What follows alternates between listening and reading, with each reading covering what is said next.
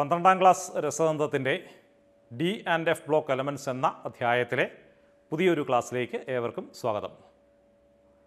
നമ്മൾ D block എലമെന്റ്സിന്റെ പ്രോപ്പർട്ടീസാണ് പറഞ്ഞുകൊണ്ടിരുന്നത്. അതിൽ അവസാനത്തെ ക്ലാസ്സിൽ പറഞ്ഞത് അവയുടെ സ്റ്റാൻഡേർഡ് ഇലക്ട്രോഡ് പൊട്ടൻഷ്യൽ വാല്യൂസിനെ കുറിച്ചാണ്. എം എം ടു പ്ലസ് അയോണുകളിൽ എങ്ങനെയാണ് ഈ വേരിയേഷൻ കാണുന്നത്? ഇന്ന് നമ്മൾ ഡിസ്കസ് ചെയ്യുന്നത് ഇതേ സ്റ്റാൻഡേർഡ് ഇലക്ട്രോഡ് പൊട്ടൻഷ്യൽ വാല്യൂസിന്റെ പ്രത്യേകതകൾ തന്നെയാണ്. ഇവിടെ M two plus M three plus ions അതായത് M two plus ions M three plus ions ആയിട്ട് മാറുമ്പോൾ നമ്മളതിന്റെ റിഡക്ഷൻ പൊട്ടൻഷ്യലാണ് സാധാരണ പറയുന്നത്. M three plus ions M two plus ions ആയിട്ട് മാറുമ്പോൾ ഉണ്ടാകുന്ന സ്റ്റാൻഡേർഡ് ഇലക്ട്രോഡ് പൊട്ടൻഷ്യൽ വാല്യൂസ് ആണ് ഇവിടെ ഡിസ്കസ് ചെയ്യുന്നത്. ആദ്യമായിട്ട് സിങ്കിന്റെ കേസ് നോക്കാം. നമുക്കറിയാം സിങ്കിന്റെ common oxidation state plus two ആണ്. അത് പ്ലസ് ത്രീ ഓക്സിഡേഷൻ സ്റ്റേറ്റിലേക്ക് പോവുക എന്ന് പറഞ്ഞു കഴിഞ്ഞാൽ സ്റ്റേബിൾ കോൺഫിഗറേഷൻ ഇല്ലാതാകുക എന്നാണ്. സ്വാഭാവികമായിട്ടും അതിന്റെ വാല്യൂ വളരെ ഹയർ ആയിരിക്കും. അതുപോലെ തന്നെ സ്കാൻഡിയം ത്രീ പ്ലസ് എന്തുകൊണ്ടാണ് അവയുടെ വാല്യൂ കുറവായിരിക്കുന്നത്? കാരണം സ്കാൻഡിയം ത്രീ പ്ലസ് ഒരു സ്റ്റേബിൾ കോൺഫിഗറേഷനിലേക്ക് മാറുന്നത് കൊണ്ടാണ് ആ വാല്യൂ കുറവായിരിക്കുന്നത്. അതുപോലെ തന്നെ M N two plus ion configuration D five ആണെന്ന് നമുക്കറിയാം. അവിടെ ഈ പറഞ്ഞ വാല്യൂ കൂടിയിരിക്കുന്നതിന്റെ കാരണം അതൊരു സ്റ്റേബിൾ കോൺഫിഗറേഷൻ എക്സിസ്റ്റ് ചെയ്യുന്നത് കൊണ്ടാണ്. മറ്റൊരു പ്രധാനപ്പെട്ട ഉദാഹരണം എന്ന് പറയുന്നത് F E two plus F E three plus ആണ്. നമുക്കറിയാം നേരത്തെ നമ്മൾ പറഞ്ഞു കഴിഞ്ഞു എഫ് ഇ ടു പ്ലസിൽ നിന്ന് എഫ് ഇ ത്രീ പ്ലസിലേക്ക് പോകുന്തോറും അവിടെ ഒരു സ്റ്റേബിൾ കോൺഫിഗറേഷനുള്ള സാധ്യതയുള്ളതുകൊണ്ട് ഇവിടെ സ്വാഭാവികമായിട്ടും ആ വാല്യൂ വളരെ കുറവായിരിക്കും. ഇനി അടുത്തതായി ഇവയുടെ ഹയർ ഓക്സിഡേഷൻ സ്റ്റേറ്റിന്റെ സ്റ്റെബിലിറ്റിയാണ് നമുക്കറിയാം higher oxidation state transition elements കാണിക്കുന്നത് വളരെ റിയാക്റ്റീവായിട്ടുള്ള ഹാലജൻസുമായിട്ടോ അല്ലെങ്കിൽ ഓക്സിജനുമായിട്ടോ റിയാക്ട് ചെയ്യുമ്പോഴാണ്. ഫ്ലൂറിൻ ഒരു ഹൈലി ഇലക്ട്രോനെഗറ്റീവ് എലമെന്റ് ആണ്. ട്രാൻസിഷൻ മെറ്റൽസുമായിട്ട് ഫ്ലൂറിൻ റിയാക്ട് ചെയ്ത് കഴിഞ്ഞാൽ കറസ്പോണ്ടിങ് ഹാലൈഡുകൾ ഫോം ചെയ്യും. അവിടെ ഉയർന്ന ഓക്സിഡേഷൻ സ്റ്റേറ്റ് വരാനുള്ള സാധ്യത കൂടുതലാണ്. അതിന്റെ ഉദാഹരണമാണ് V F I vanadium pentafluoride അതുപോലെ തന്നെ ക്രോമിയം ഹെക്സാഫ്ലൂറൈഡ് എന്നിവ. എന്തുകൊണ്ടാണ് ഫ്ലൂറിൻ അതിന്റെ ഹയസ്റ്റ് ഓക്സിഡേഷൻ സ്റ്റേറ്റ് സ്റ്റേബിളാക്കി നിർത്തുന്നത് എന്ന് ചോദിച്ചാൽ അതവയുടെ ഉയർന്ന ലാറ്റിസ് എൻതാൽപ്പിയാണ് കാരണം എന്ന് പറയാം. അതുകൂടാതെ തന്നെ അവയുടെ ഉയർന്ന ബോണ്ട് എൻതാൽപ്പി വാല്യൂസും ഇതിനൊരു പ്രധാനപ്പെട്ട കാരണമാണ്. അടുത്തതായി ട്രാൻസിഷൻ മെറ്റൽസിന്റെ സ്റ്റാൻഡേർഡ് ഇലക്ട്രോഡ് പൊട്ടൻഷ്യൽ വാല്യൂസും അവയുടെ കെമിക്കൽ റിയാക്ടിവിറ്റിയും തമ്മിൽ എന്താണ് ബന്ധമെന്ന് നോക്കാം. നമുക്കറിയാം എക്രോസ് എ പീരീഡ്. അതായത് പീരീഡിൽ ഇടത്തുനിന്ന് വലത്തോട്ട് പോകും തോറും അവയുടെ first and second ionization enthalpy കൂടി വരുന്നു. അപ്പോൾ അങ്ങനെ കൂടുന്നത് കൊണ്ട് അവയ്ക്ക് less negative standard electrode potential values ആയിരിക്കും ഉണ്ടായിരിക്കുക. അതുകൊണ്ട് തന്നെയാണ് ട്രാൻസിഷൻ മെറ്റൽസിന്റെ കേസിൽ ഇടത്തുനിന്ന് വലത്തോട്ട് പോകുന്തോറും അവയുടെ കെമിക്കൽ റിയാക്ടിവിറ്റി കുറഞ്ഞു വരുന്നത്. അടുത്തതായി ഇവയുടെ മാഗ്നറ്റിക് പ്രോപ്പർട്ടീസ് ആണ്. മാഗ്നറ്റിക് പ്രോപ്പർട്ടീസ് നമ്മൾ വിശദമായിട്ട് പന്ത്രണ്ടാം ക്ലാസ്സിന്റെ ഒന്നാമത്തെ ചാപ്റ്ററിൽ പഠിച്ചു കഴിഞ്ഞിരിക്കുന്നു. ഏതൊക്കെയാണ് സാധാരണ സബ്സ്റ്റൻസുകൾ കാണിക്കുന്ന magnetic properties? Diamagnetism paramagnetism ferromagnetism antiferromagnetism ferrimagnetism ഇവയാണ് നിങ്ങൾ അവിടെ പഠിച്ചിരിക്കുന്നത്. ഇവിടെ ട്രാൻസിഷൻ മെറ്റൽസിന്റെ പ്രത്യേകത ഇവയുടെ പെനൾട്ടിമേറ്റ് സബ്ഷെല്ലുകളിലെ ഡി ഓർബിറ്റലിൽ അൺപെയ്ഡ് ഇലക്ട്രോൺസ് ഉണ്ട് എന്നുള്ളതാണ്. അപ്പോൾ സ്വാഭാവികമായിട്ടും അൺപെയ്ഡ് ഇലക്ട്രോൺസ് ഉണ്ട് എങ്കിൽ അവിടെ പാരാമാഗ്നറ്റിസം കാണിക്കാൻ സാധിക്കും. അങ്ങനെ ട്രാൻസിഷൻ മെറ്റൽസ് സാധാരണ ഇവിടെ കാണിക്കുന്നത് എക്സ്ട്രീം എൻഡ് ഓഫ് പാരാമാഗ്നറ്റിസമാണ് നമ്മളതിനെ ഫെറോ മാഗ്നറ്റിസം എന്ന് പറയും. ഒരു ഫെറോ മാഗ്നറ്റിക് സബ്സ്റ്റൻസ് ഒരു എക്സ്റ്റേണൽ മാഗ്നറ്റിക് ഫീൽഡിലേക്ക് വളരെ സ്ട്രോങ് ആയിട്ട് അട്രാക്റ്റ് ചെയ്യുന്നു. ഇവിടെ പാരാമാഗ്നറ്റിസം എറൈസ് ചെയ്യുന്നത് അവയിലുള്ള അൺപെയ്ഡ് ഇലക്ട്രോൺസ് ആണ് നമുക്കറിയാം. അപ്പോൾ ഓരോ അൺപെയ്ഡ് ഇലക്ട്രോണുമായി ബന്ധപ്പെട്ട് അവിടെ ഒരു ഓർബിറ്റൽ ആംഗുലർ മൊമെന്റവും അതുപോലെ തന്നെ ഒരു സ്പിൻ ആംഗുലർ മൊമെന്റവും ഉണ്ടായിരിക്കും. ട്രാൻസിഷൻ മെറ്റൽസിന്റെ കേസിൽ ഓർബിറ്റൽ ആംഗുലർ മൊമെന്റം ഇല്ലാതാകുന്നു എന്നുള്ളതുകൊണ്ട് അതിന് ക്വഞ്ചിങ് സംഭവിക്കുന്നു എന്നുള്ളതുകൊണ്ട് നമ്മളിവിടെ സ്പിൻ മാഗ്നറ്റിക് മൊമെന്റ് മാത്രമാണ് നോക്കുന്നത്. സ്പിൻ ഒള്ളി ഫോമുലയാണ് നമ്മൾ അതിന് വേണ്ടി ഉപയോഗിക്കുന്നത്. ഒരു ട്രാൻസിഷൻ എലമെന്റിന്റെ ആറ്റത്തിന്റെ മാഗ്നറ്റിക് മൊമെന്റ് കണ്ടുപിടിക്കാനായി നമ്മൾ ഉപയോഗിക്കുന്ന സ്പിൻ ഒള്ളി ഫോമുല എന്ന് പറയുന്നത് square root of N into N plus two എന്നുള്ളതാണ്. ഇവിടെ മ്യൂ എന്നുള്ളത് മാഗ്നറ്റിക് മൊമെന്റ് ആണ്. ഈ ഫോമുല ഉപയോഗിച്ചുകൊണ്ട് നമുക്ക് ട്രാൻസിഷൻ മെറ്റൽസിന്റെ ആറ്റങ്ങളുടെ അല്ലെങ്കിൽ അയോണുകളുടെ മാഗ്നറ്റിക് മൊമെന്റ് കാൽക്കുലേറ്റ് ചെയ്യാം. ഈ മാഗ്നറ്റിക് മൊമെന്റ് യൂണിറ്റ് എന്ന് പറയുന്നത് ബോർ മാഗ്നറ്റോൺ ആയിരിക്കും. ഇത് കാൽക്കുലേറ്റ് ചെയ്തിരിക്കുന്നത് ഒന്ന് ശ്രദ്ധിച്ചേ. ഒരു അൺപെയ്ഡ് ഇലക്ട്രോൺ ആണ് ആ ട്രാൻസിഷൻ മെറ്റൽ അയോണിൽ ഉള്ളത് എങ്കിൽ നമ്മൾ ഈ ഫോമുല ഉപയോഗിച്ച് കഴിഞ്ഞാൽ മാഗ്നറ്റിക് മൊമെന്റ് വാല്യൂ എന്ന് പറയുന്നത് വൺ പോയിന്റ് സെവൻ ത്രീ ആയിരിക്കും. അതിന്റെ എക്സ്പെരിമെന്റലി ഒബ്സർവ്ഡ് വാല്യൂ നോക്കിക്കേ വൺ പോയിന്റ് സെവൻ ഫൈവ് ആണ്. ഇതേപോലെ നമ്മൾ D one D two D three D four ഈ തരത്തിൽ ഡി ടെൻ വരെയുള്ള മാഗ്നറ്റിക് മൊമെന്റ് കാൽക്കുലേറ്റ് ചെയ്യാം. അപ്പോൾ ആ കാൽക്കുലേറ്റ് ചെയ്തിരിക്കുന്ന ഈ ടേബിൾ ഒന്ന് ശ്രദ്ധിക്കൂ. നിങ്ങൾ ഓരോന്നും ഒന്ന് കാൽക്കുലേറ്റ് ചെയ്ത് നോക്കൂ. അതിന്റെ കാൽക്കുലേറ്റഡ് വാല്യൂ ഒബ്സർവ്ഡ് വാല്യൂ ഒന്ന് കമ്പയർ ചെയ്ത് നോക്കൂ. ട്രാൻസിഷൻ മെറ്റൽസിന്റെ മറ്റൊരു പ്രധാനപ്പെട്ട പ്രത്യേകതയാണ് അവ കളേർഡ് അയോൺസ് ഉണ്ടാക്കുന്നു എന്നുള്ളത്. നമുക്കറിയാം ഒരു സബ്സ്റ്റൻസ് കളർ കാണിക്കുന്നത് വിസിബിൾ റേഞ്ചിൽ നിന്നുള്ള റേഡിയേഷൻസ് അബ്സോർബ് ചെയ്യുന്നതുകൊണ്ടാണ് ഇവിടെ ട്രാൻസിഷൻ മെറ്റൽ അയോൺസിൽ ഡി ഓർബിറ്റലുകളിൽ അൺപെയ്ഡ് ഇലക്ട്രോണുകൾ ഉള്ളതുകൊണ്ട് അവ വിസിബിൾ റേഞ്ചിൽ നിന്ന് റേഡിയേഷൻസ് അബ്സോർബ് ചെയ്ത് എക്സൈറ്റ് ചെയ്യുന്നു. അങ്ങനെ അബ്സോർബ് ചെയ്യുന്ന റേഡിയേഷൻസിന്റെ കോംപ്ലിമെന്ററി കളറായിരിക്കും ആ സബ്സ്റ്റൻസ് കാണിക്കുക. അപ്പോൾ ഏതൊക്കെയാണ് അവ കാണിക്കുന്ന കളർ എന്ന് ഈ ടേബിൾ നോക്കി ഒന്ന് പരിചയപ്പെട്ടെ. ട്രാൻസിഷൻ മെറ്റൽസിന്റെ മറ്റൊരു പ്രധാനപ്പെട്ട പ്രത്യേകതയാണ് അവ കോംപ്ലക്സ് കോമ്പൗണ്ടുകൾ ഫോം ചെയ്യുന്നു എന്നുള്ളത്. നമ്മൾ നേരത്തെ പറഞ്ഞു കഴിഞ്ഞു. ഇവ കോംപ്ലക്സ് കോമ്പൗണ്ടുകൾ ഫോം ചെയ്യുന്നത് ഏതെങ്കിലും ആനയോണുകളുമായിട്ട് അതല്ലെങ്കിൽ ഏതെങ്കിലും ന്യൂട്രൽ മോളിക്യൂളുകളുമായിട്ടാണ് അവയ്ക്ക് ഇലക്ട്രോണുകളെ ഡൊണേറ്റ് ചെയ്യാനുള്ള കപ്പാസിറ്റി ഉണ്ടായിരിക്കണം. അതായത് അവയ്ക്ക് ലൂയിസ് ബേസ് ക്യാരക്ടർ ഉണ്ടെങ്കിലാണ് ഇത്തരത്തിലുള്ള കോംപ്ലക്സുകൾ ഫോം ചെയ്യുന്നത്. ഒന്ന് രണ്ട് ഉദാഹരണങ്ങൾ നോക്കിയേ.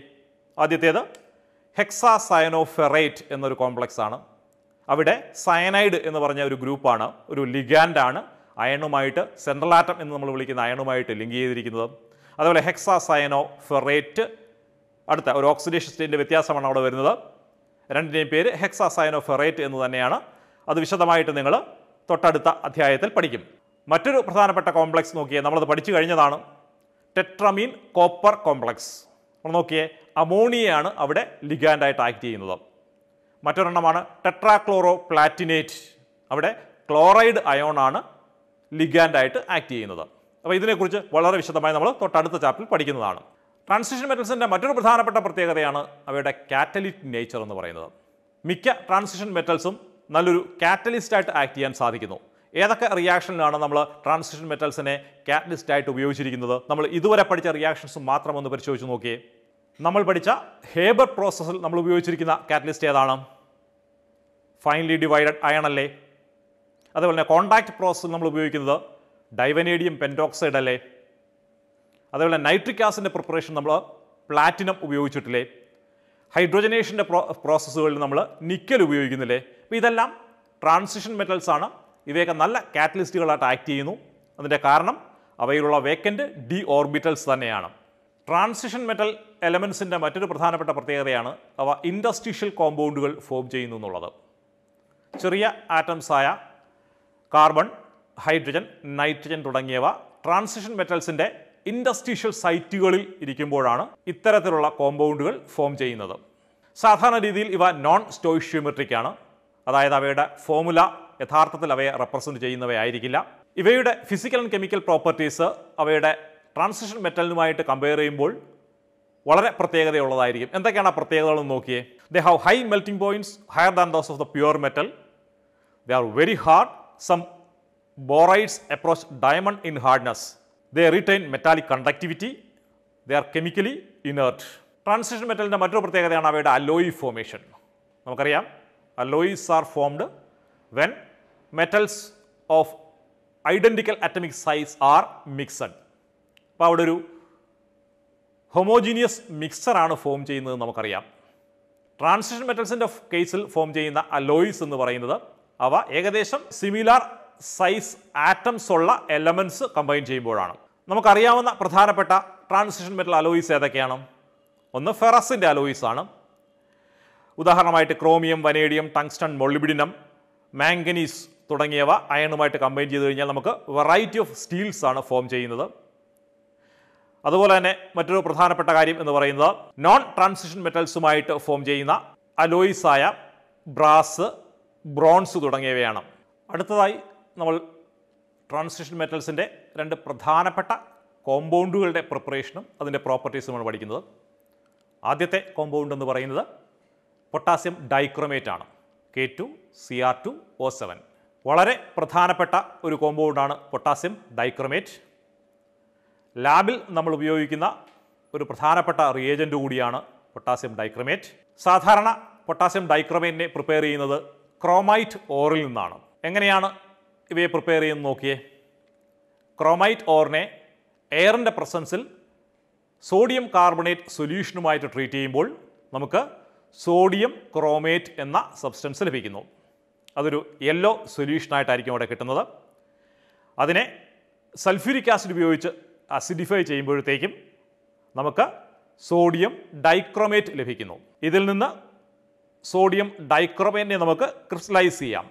ഈ സോഡിയം ഡൈക്രോമേറ്റ് വെള്ളത്തിൽ കൂടുതൽ സൊലുബിൾ ആയതുകൊണ്ട് അതിനെ പൊട്ടാസ്യം ഡൈക്രോമേറ്റ് ആയിട്ട് കൺവേർട്ട് ചെയ്യാൻ പൊട്ടാസ്യം ക്ലോറൈഡുമായി ട്രീറ്റ് ചെയ്യുന്നു. ഇവിടെ നമുക്ക് പൊട്ടാസ്യം ഡൈക്രോമേറ്റ് ആണ് കിട്ടുന്നത്.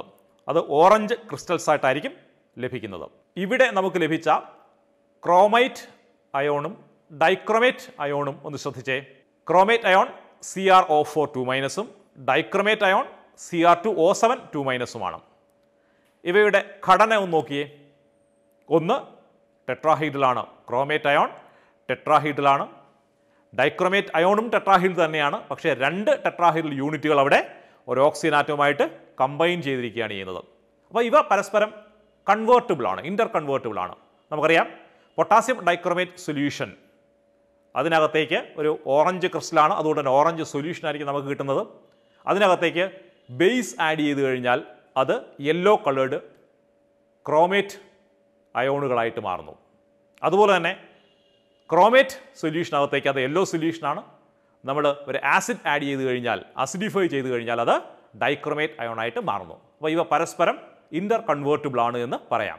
പൊട്ടാസ്യം ഡൈക്രോമേറ്റിന്റെ ഏറ്റവും വലിയ പ്രത്യേകത എന്ന് പറയുന്നത് ഒരു സ്ട്രോങ് ഓക്സിഡൈസിങ് ഏജന്റ് ആണ് ആസിഡ് മീഡിയത്തിൽ അപ്പോൾ ഇവ ഏതൊക്കെ സബ്സ്റ്റൻസുകളെയാണ് ഓക്സിഡൈസ് ചെയ്യുന്നത്? ആ ഇക്വേഷൻസ് ഒക്കെ ഒന്ന് നോക്കേ. ഇവ അയോഡൈഡുകളെ അയോഡിനാക്കി ഓക്സിഡൈസ് ചെയ്യുന്നു.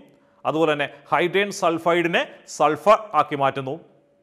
ഇവയുടെ അയോണിക് ഇക്വേഷൻ ഒന്ന് ശ്രദ്ധിച്ചേ. അടുത്ത ട്രാൻസിഷൻ മെറ്റൽ കോമ്പൗണ്ട് എന്ന് പറയുന്നത് പൊട്ടാസ്യം പെർമാംഗനേറ്റ് ആണ്. K M N O four നമുക്കെല്ലാം പരിചയമുള്ള കോമ്പൗണ്ട് തന്നെയാണ് പൊട്ടാസ്യം പെർമാംഗനേറ്റ് നമ്മൾ സാധാരണ വീട്ടിലൊക്കെ യൂസ് ചെയ്യുന്നതാണ്. അതുപോലെ തന്നെ ലബോറട്ടറിയിൽ ഒരു റിയേജന്റായിട്ട് യൂസ് ചെയ്യുന്നത് കൂടിയാണ് പൊട്ടാസ്യം പെർമാംഗനേറ്റ് പൊട്ടാസ്യം പെർമാംഗനേറ്റിനെ പ്രിപ്പയർ ചെയ്യുന്നത് എം എൻ ഒ ടു എന്ന് പറയുന്ന ഒരു ഓറിൽ നിന്നാണ് പൈറൂളുസൈറ്റ് ഓർ എന്നാണ് നമ്മൾ അതിനെ വിളിക്കുന്നത്. അതിനെ ആൽക്കലിയുമായി ഫ്യൂസ് ചെയ്യുമ്പോൾ നമുക്ക് പൊട്ടാസ്യം മാംഗനേറ്റ് എന്ന് പറഞ്ഞ കോമ്പൗണ്ട് ലഭിക്കുന്നു. ഇക്വേഷൻ ഒന്ന് ശ്രദ്ധിച്ചേ.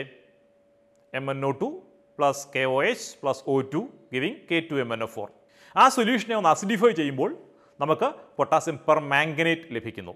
ഇനി കൊമേഴ്ഷ്യലി എങ്ങനെയാണ് പൊട്ടാസ്യം പെർ മാംഗനേറ്റ് പ്രിപ്പയർ ചെയ്ത് നോക്കാം.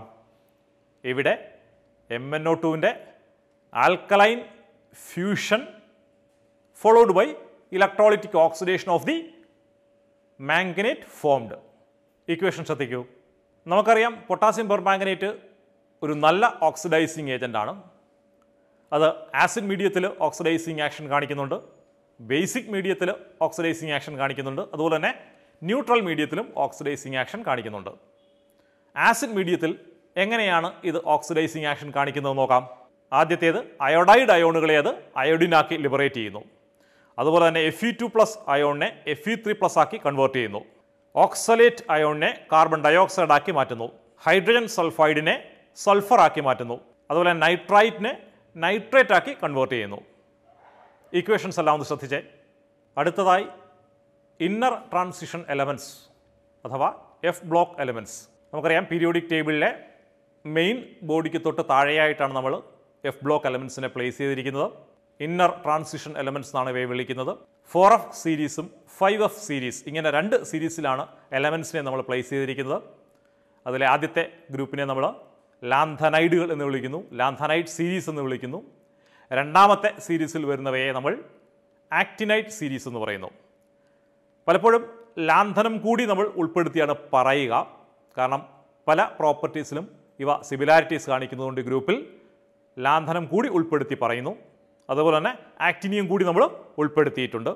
ആദ്യത്തെ ലാന്ധനൈറ്റ് സീരീസിൽ സീറിയം മുതൽ ലുട്ടീഷ്യം വരെ വരുന്ന എലമെൻസിനെയാണ് ഉൾപ്പെടുത്തിയിരിക്കുന്നത്. അറ്റോമി നമ്പർ ഫിഫ്റ്റി മുതൽ അറ്റോമി നമ്പർ സെവന്റി വരെ. അതുപോലെ തന്നെ ആക്ടിനോയിഡുകളിൽ തോറിയം മുതൽ ലോറൻഷ്യം വരെ വരുന്ന എലമെൻസിനെയാണ് ഉൾപ്പെടുത്തിയിരിക്കുന്നത്. അറ്റോമിക് നമ്പർ തൊണ്ണൂറ് മുതൽ നൂറ്റി മൂന്ന് വരെ. ആദ്യമായി ലാന്തനൈഡ്സിന്റെ ഇലക്ട്രോണിക് കോൺഫിഗറേഷൻ എന്താണെന്ന് നോക്കാം. ഇവയിലെല്ലാം സാധാരണ രീതിയിൽ സിക്സ് എസ് ടു എന്ന് പറയുന്ന ഒരു കോമൺ കോൺഫിഗറേഷൻ ഉണ്ടായിരിക്കും. അതുകൂടാതെ വരുന്നത് four F raise to N ആണ്. ഫോർ എഫ് എൻ എന്ന് നമുക്ക് പറയാം. അതിൽ എൻ എന്ന് പറയുന്നത് ഒന്ന് മുതൽ പതിനാല് വരെയുള്ള ഇലക്ട്രോണുകളുടെ ഫില്ലിങ്ങിനെ സൂചിപ്പിക്കുന്നതാണ്. അപ്പോൾ നമുക്ക് എൻ മൈനസ് ടു എന്ന് വേണമെങ്കിൽ പറയാം അല്ലേ? അത് penultimate subshell ആകുന്നതുകൊണ്ട് N minus two F one to fourteen N minus one D one or zero അതുപോലെ തന്നെ എൻ എസ് ടു ഇതാണ് നമുക്ക് പറയാൻ സാധിക്കുന്ന ഒരു ജനറൽ ഇലക്ട്രോണിക് കോൺഫിഗറേഷൻ എനിവേ അവയുടെ ത്രീ പ്ലസ് അയോൺസ് ആണ് നമ്മൾ എടുക്കുന്നതെങ്കിൽ ലാന്ധനത്തിന്റെ ലാന്ധനൈഡുകളുടെ ത്രീ പ്ലസ് അയോൺസ് ആണ് എടുക്കുന്നതെങ്കിൽ അവിടെ ഫോർ എഫിലെ വേരിയേഷൻസ് മാത്രമായിരിക്കും ഉണ്ടായിരിക്കുക. അത് ഒന്ന് മുതൽ പതിനാല് വരെയാണ് വരാവുന്നത്. ലാന്ധനൈഡ് എലമെൻസിനെ കുറിച്ച് പറയുമ്പോൾ വളരെ പ്രധാനപ്പെട്ട ഒരു കാര്യം അവയുടെ അറ്റമിക് ആൻഡ് അയണിക് സൈസ് ആണ്. നമ്മൾ നേരത്തെ സൂചിപ്പിച്ചു കഴിഞ്ഞു. Atomic and ionic size from lanthanum to lutetium decreases gradually ഈ ഒരു ഫിനോമിനെ നമ്മൾ വിളിച്ച പേര് ലാന്തനോയിഡ് കോൺട്രാക്ഷൻ എന്നാണ്. ലാന്തനോയിഡ് കോൺട്രാക്ഷൻ എന്ന ഫിനോമിനൻ നടക്കുന്നത് മൂലം ഫോർ ഡി ട്രാൻസിഷൻ സീരീസിലെയും ഫൈവ് ഡി ട്രാൻസിഷൻ സീരീസിലെയും ആറ്റങ്ങളുടെ ഒരേ ഗ്രൂപ്പിൽ വരുന്ന ആറ്റങ്ങളുടെ ആറ്റോമിക് സൈസ് നിയർലി സെയിം ആയിരിക്കും എന്ന് നമുക്കറിയാം. അപ്പോൾ ഇവിടെ ലാന്തനൈറ്റ് കോൺട്രാക്ഷൻ കൊണ്ട് വരാവുന്ന ഒരു ഫീച്ചർ എന്ന് പറയുന്നത് similar size of four D and five D transition series elements ആണ്. സാധാരണ രീതിയിൽ ലാന്ധനൈഡുകളുടെ ഓക്സിഡേഷൻ സ്റ്റേറ്റ് അത് പ്ലസ് ടു പ്ലസ് ത്രീ എന്നീ ഓക്സിഡേഷൻ സ്റ്റേറ്റ് ആണ് കാണിക്കുന്നത്. പക്ഷേ പലപ്പോഴും അത് പ്ലസ് ടു പ്ലസ് ഫോർ എന്നീ ഓക്സിഡേഷൻ സ്റ്റേറ്റുകൾ കൂടി സൊല്യൂഷനിലോ അല്ലെങ്കിൽ സോളിഡ് കോമ്പൗണ്ടുകളിലോ കാണിക്കാറുണ്ട്. അതിന്റെ കാരണം എന്ന് പറയുന്നത് തീർച്ചയായിട്ടും ഒന്നുകിൽ അവിടെ വരുന്ന extra stability due to half filled അല്ലെങ്കിൽ ഫുള്ളി ഫിൽഡ് ഇലക്ട്രോണിക് കോൺഫിഗറേഷൻ ആയിരിക്കും. നിങ്ങൾക്ക് അതിന് ഇലക്ട്രോണിക് കോൺഫിഗറേഷന്റെ ടേബിൾ ഒന്ന് പരിശോധിച്ച് കഴിഞ്ഞാൽ വ്യക്തമായി എന്തുകൊണ്ടാണ് ഇവയുടെ ഇലക്ട്രോണിക് കോൺഫിഗറേഷൻസ് അത് half filled fully filled configurations വരുമ്പോൾ ഒരു പ്രത്യേക ഓക്സിഡേഷൻ സ്റ്റേറ്റ് സ്റ്റേബിളായി വരുന്നത് എന്ന് മനസ്സിലാക്കാൻ സാധിക്കും. ഇനി ഇവയുടെ ജനറൽ പ്രോപ്പർട്ടീസ് പറഞ്ഞു കഴിഞ്ഞാൽ എല്ലാ ലാന്തനൈഡ്സും സിൽവറി വൈറ്റ് മെറ്റൽസ് ആണ് സോഫ്റ്റ് മെറ്റൽസ് ആണ്.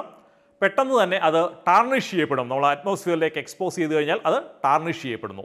അതുപോലെ തന്നെ ലാന്ധനോയിഡുകളുടെ ട്രൈവാലന്റ് അയോണുകൾ അവ മിക്കവയും കളർ ഫോം ചെയ്യുന്നവയാണ്.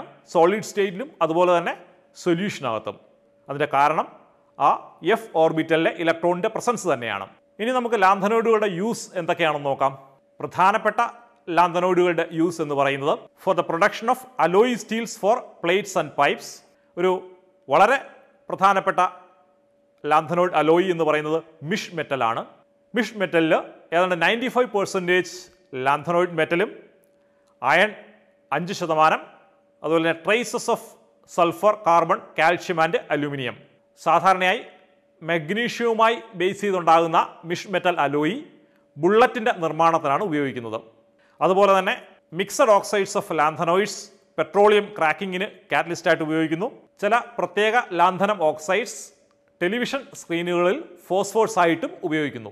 അടുത്തതായി നമുക്ക് ആക്ടിനോയിഡുകളുടെ പ്രോപ്പർട്ടീസ് നോക്കാം. ആക്ടിനോയിഡുകൾ എന്ന് പറയുന്നത് തോറിയം മുതൽ ലോറൻഷ്യം വരെ വരുന്ന പതിനാല് മൂലകങ്ങളെയാണ്. അതിൽ തന്നെ ആ പീരീഡിൽ ആദ്യം വരുന്ന മൂലകങ്ങളെല്ലാം ലോങ് ഹാഫ് ലൈഫുകൾ ഉള്ളവയാണ്. കാരണം ഇവയെല്ലാം റേഡിയോ ആക്റ്റീവാണ് ഏതാണ്ട് പകുതിക്ക് ശേഷം വരുന്ന എലമെൻസ് എല്ലാം വളരെ ചെറിയ ഹാഫ് ലൈഫുകൾ ഉള്ളവയാണ്. ഏകദേശം ഫ്രാക്ഷൻ ഓഫ് സെക്കൻഡ് മാത്രമായിരിക്കും അവയുടെ ഹാഫ് ലൈഫ് എന്ന് പറയുന്നത്. ഇനി ഇവയുടെ ഇലക്ട്രോണിക് കോൺഫിഗറേഷൻ നോക്കിയാലോ. ഇവിടെ ഇവയ്ക്കെല്ലാം സെവൻ എസ് ഇലക്ട്രോണിക് കോൺഫിഗറേഷനാണ് കോമൺ ആയിട്ട് വരിക. Varying number of electrons in five F and six D subshells ഇനി മറ്റൊരു പ്രധാനപ്പെട്ട പ്രത്യേകത ഇവയുടെ അയോണിക് സൈസ് ആണ്. നമ്മൾ ലാന്തനൈഡ്സിന്റെ കേസിൽ പറഞ്ഞതുപോലെ തന്നെ ആക്ടിനോയിഡ്സിന്റെ കേസിലും ഇവയുടെ അയോണിക് റേഡിയസ് ഡിക്രീസ് ചെയ്യുന്നുണ്ട്. യഥാർത്ഥത്തിൽ അവിടെ പറഞ്ഞിരിക്കുന്ന അതേ ഫിനോമിനൻ ഇവിടെയും പോസിബിൾ ആണ്.